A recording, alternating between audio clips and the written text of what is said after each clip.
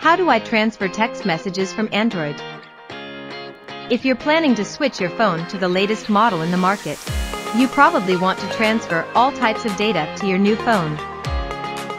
Fortunately, there are solutions to have those SMS on your new phone. Method 1. Extract existing or lost text messages from Android to computer, PDF.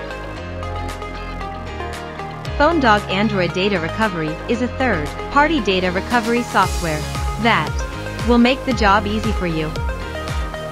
While it is great for restoring deleted files, it is also a foolproof way to extract Android text messages. Step 1.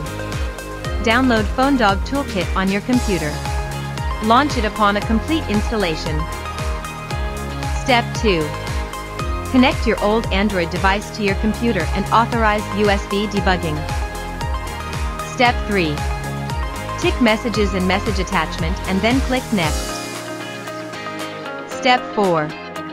Once the scan ends, tick the messages that you still want to keep. Step 5. Click Recover and then choose which folder on your computer you want the messages to be saved to. Method 2. Using the Android Data Backup and Restore tool.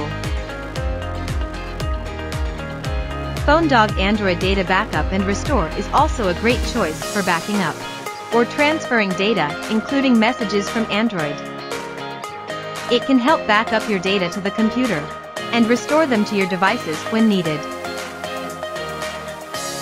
Method 3. Export text messages using Gmail. If you have a Gmail account, you can have a copy of your SMS on your Gmail. The good thing is you can access it anytime or even want to save it on your computer. Method 4. Transfer SMS to another device. If you want to transfer and export SMS to another device, you can also use Gmail to back up and restore the messages from your old phone to the new phone. If you think switching up to a new phone is difficult, let FoneDog Android Data Recovery or Android Data Backup and Restore do the job for you automatically. If you have a Gmail account, it is also not hard to use it to transfer your messages. To get more useful tips, please subscribe to our channel.